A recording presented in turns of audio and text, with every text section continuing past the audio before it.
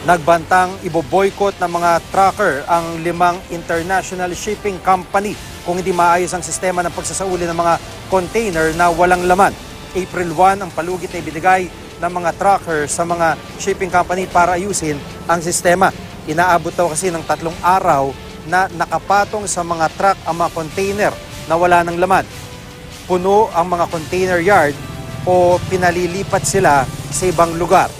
Ang masaklap, ang mga tracker at broker ang pinagbabayad ng penalty. Nagbabayad ang mga broker ng 8,000 pisong deposito sa kada container na ilalabas sa pier.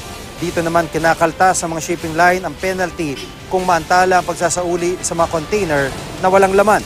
Hinimok din ng mga trucker, ang mga importer na iwasang gamitin ang limang shipping line na walang container yard. Sisikap ng GMA News na kuna na reaksyon ang Association of International Shipping Lines pero hindi nila sinasagot ang aming mga text at tawag.